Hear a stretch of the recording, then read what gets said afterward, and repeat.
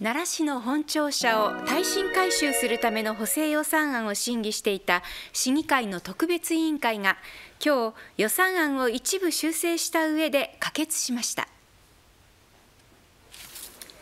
奈良市は今月22日から始まった臨時市議会に市役所の本庁舎を耐震改修するための12億8300万円の補正予算案を提出していました。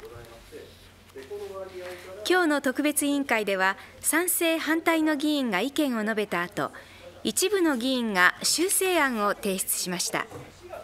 修正案は市の案から本庁舎の西棟の議員控え室のリフォームや多目的トイレの設置に伴う工事費用を差し引いた12億6780万円を提示していて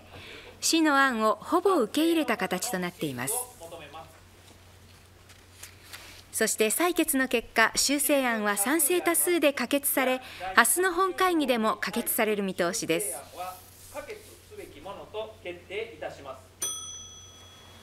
議会の方からはですねあの一部、まあ、修正という部分はありますけれども、まあ、ほぼ、まあ、原案に近い形で、まあ、今回ご理解いただけたということについては、えー、議会のご理解に感謝したいというふうに思っています。まあ、市としての方向性が、まあ、決めることが、まあ、できるというふうに思いますので、えーまあ、まずはですねあの一安心というふうにあの思っています。